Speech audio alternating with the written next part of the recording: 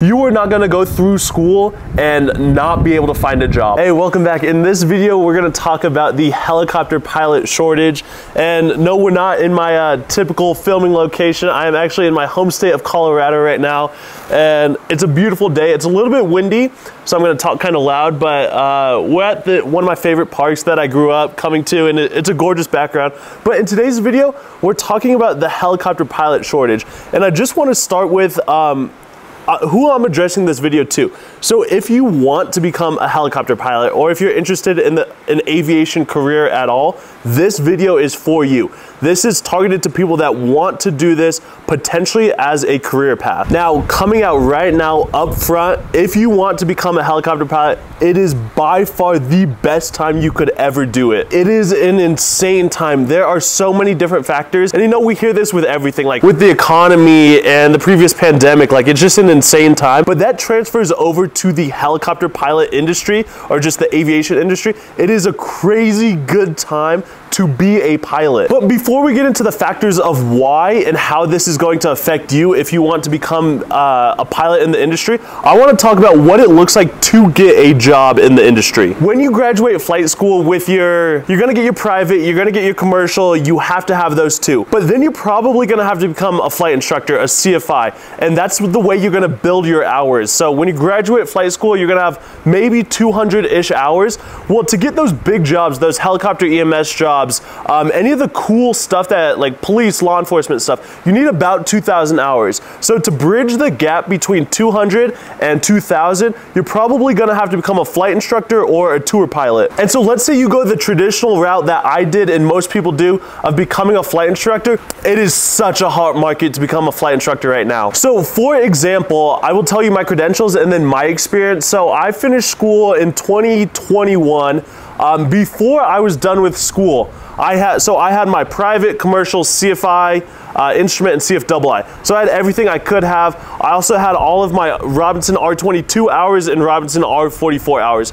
So um, you could ask me questions, but I was as qualified as I could get. And before I had graduated that program, I had five different companies that I was talking to, five different flight schools, and I had offers from two of them before I was done with school. The reason is people need flight instructors right now. And so that was in 2021 and I was getting, I, people were talking to me, people wanted me. But now, crazy time. My previous employer that I worked at called Independent Helicopters, while I was there, we could not find CFIs. Like we had ads out on every website. I was talking to people I knew. We had everyone trying to bring in flight instructors because we needed them because our school was busy. We just could not find the flight instructors. And it's not just Independent Helicopters where I worked, it was every single single flight school that I knew. Anyone that I talked to, they couldn't find flight instructors. So that's kind of hard on you as the student because there's not enough instructors. But from the instructor side, from the career side, it is a great position. Companies are to pay these flight instructors more and more and more to recruit them to get them on board because there is no one. So let's say you do that. You go to flight school, you get all your ratings, and then you become a flight instructor. You build up your time there,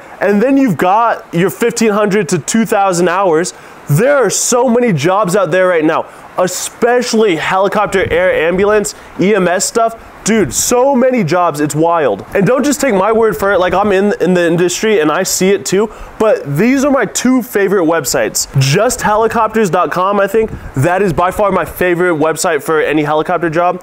The second one is called JS Firm, and I'll throw that up on the screen right now. If you just spend five minutes looking at those two websites, just scrolling through, there are just so many jobs. But let's answer the question of why. Why are there jobs? Why is it so hot right now? And so it's not just the helicopter industry, actually the fixed wing airline industry, it's way worse over there. Just, uh, I'll throw some articles up on screen right now, but the airlines are really struggling to find pilots, even worse than the helicopter market. So one of the primary reasons is the last generation of helicopter pilots, the older Vietnam era helicopter pilots, they're all retiring. So we just have a very old helicopter pilot generation. And then secondly, fixed wing, the commercial airline market if you just want to be a pilot in the sky, the commercial airline pilot is a much better route. It is much cheaper to get all of your fixed wing stuff. And then on the backside, you're getting paid way, way, way more to fly fixed wing. So that is really hard for the helicopter industry to handle is that you have these people that want to be aviators, want to be pilots,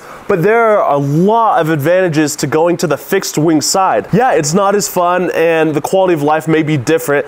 And like flying helicopters is great for just the fun of flying helicopters and because we love to fly.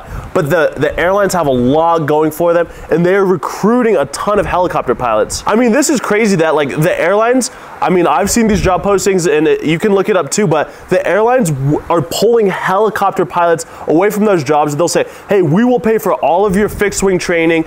We'll put you through school and then we'll get you started on some of these airplanes and you'll get paid a lot more. That's very tempting. Now, I like to fly helicopters, so I think I'm gonna stick with this, but it is tempting tempting to know that those airline jobs will pay for all my stuff and then I could be flying a really cool airplane. And one of the final reasons why it's so difficult to become a helicopter pilot is because the training is just not easy. Yes, it's gonna be difficult to become a helicopter pilot, but the route, it's just very expensive, very time consuming. And the final thing that I wanna talk about, which branches off of that, is because the minimums are so high to get to those good jobs. Here is the general breakdown for the high, cool helicopter pilot jobs like helicopter air ambulance, law enforcement, all of the cool stuff. Okay, 2,000 hours total time, 1,500 hours helicopter, 500 turbine, and then you need like your night, your cross country, and your instrument. Those numbers are really, really high. Like that, it's just very difficult to build 2,000 hours of experience. Now, if you were to ask me, does it make sense to have these pilots have 2,000 hours of experience?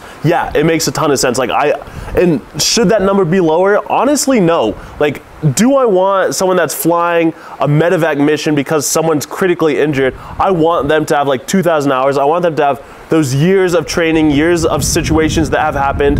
They just know how to handle things better. I don't think a 500 to 1,000 hour pilot can handle what a 2,000 hour pilot can handle. So it makes sense, but that just makes the, the path to becoming a pilot that's qualified there super hard. So all of that to say, if you want to become a helicopter pilot, do it right now. And if you want to do it, commit to it, do it as frequently and as committed as you possibly can. Try to fly three or four times a week. Study, get your ratings. It's gonna be expensive, but there are jobs you are gonna get picked up. Like if you, I'm telling you, if you have your ratings and you're like a decent, good person with good morals and you're just a well-rounded individual, there is a job for you.